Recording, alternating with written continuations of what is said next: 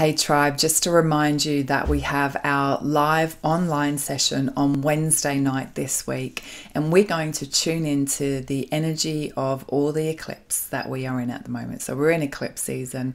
We've just come out of one on Friday night. We have a solar eclipse coming up in two weeks, and this is a time to shine the light into our shadows and our blind spots and understand that we have nothing to be afraid of and we have nothing to fear. Because when everything is brought into the light and it's seen and understood, it's healed and it's released.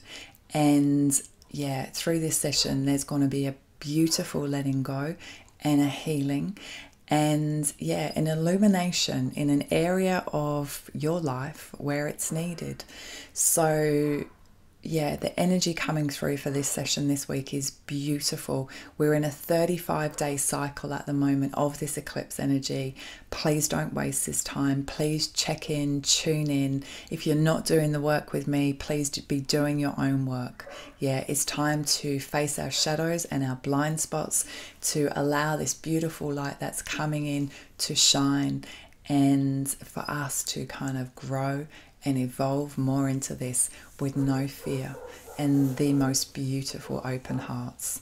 So I can't wait to connect in this energy, and I will see you live online on Wednesday night. So please check the bios, check the links, and um, yeah, I'll see you there.